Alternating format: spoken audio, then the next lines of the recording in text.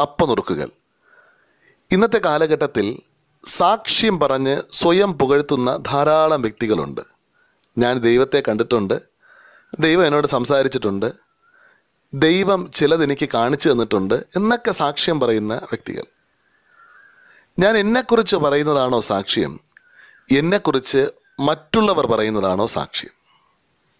ഉൽപ്പത്തി പുസ്തകം ഇരുപത്തിയൊന്നാം അധ്യായം ഇരുപത്തിരണ്ടാം വാക്യം. അബീമേലക്കും അവന്റെ സേനാധിപതിയായ പീക്കോലും അബ്രഹാമിനെ കുറിച്ച് പറയുകയാണ് നിന്റെ സകല പ്രവൃത്തിയിലും ദൈവം കൂടെയുണ്ട്. നിന്റെ സകല പ്രവൃത്തിയിലും ദൈവം കൂടെയുണ്ടെന്ന് ഞങ്ങൾ അറിയുന്നു. പ്രിയമുള്ളവരെ മറ്റുള്ളവർ ഒരുവനെക്കുറിച്ച് പറയുന്നതാണ് സാക്ഷ്യം. നമ്മുടെ പ്രവൃത്തികൾ കാണുമ്പോൾ ദേശം പറയണം ജനം പറയണം ഈ മനുഷ്യനിൽ ജീവിക്കുന്ന കർത്താവ് വസിക്കുന്നു എന്ന്. സഭയെക്കുറിച്ച് ധാരാളം നിർവചനങ്ങളുണ്ട് പ്രിയമുള്ളവരെ.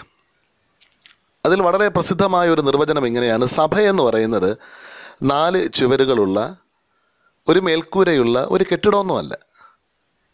The body of Jesus Christ ജീവിക്കുന്ന ക്രിസ്തുവിന്റെ ശരീരമാണ് സഭ. അങ്ങനെയെങ്കിൽ നാം എങ്ങനെയായിരിക്കണം ഒരു എഴുത്തുകാരൻ പറയുന്നത് ഇങ്ങനെയാണ്.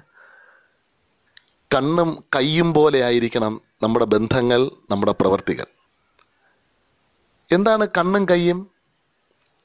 കണ്ണ് കരയുമ്പോൾ കൈ വെറുതെ ഇരിക്കത്തില്ല. കൈ പോയി ആശ്വസിപ്പിക്കും. ആ കണ്ണുനീര് തുടച്ചു മാറ്റും. മറ്റുള്ളവനെ സ്നേഹിക്കാനും മറ്റുള്ളവനെ കരുതാനും മറ്റുള്ളവന് വേണ്ടി ജീവിക്കുവാനും നാം തയ്യാറാകുമ്പോഴാണ് നമ്മുടെ പ്രവൃത്തിയിലൂടെ പ്രിയമുള്ളവരെ മറ്റുള്ളവർ ക്രിസ്തുവിനെ കാണുന്നത്. അപ്പോൾ അവർ പറയും ഇവനിൽ ദൈവമുണ്ട്. ഞാൻ പറഞ്ഞതിന്റെ സാരാംശം ചില പ്രവൃത്തികൾ കാണിച്ച് ദൈവം എന്നിലുണ്ട് എന്ന് തെളിയിക്കുകയല്ല. ദൈവത്തെ ഹൃദയത്തിൽ സ്വീകരിക്കുക. നമ്മുടെ പ്രവൃത്തിയിലൂടെ അനേകം പേർ ക്രിസ്തുവിനെ കാണട്ടെ. അതിന് ദൈവം തന്റെ പരിശുദ്ധാത്മാവിനാൽ നമ്മെ സഹായിക്കട്ടെ.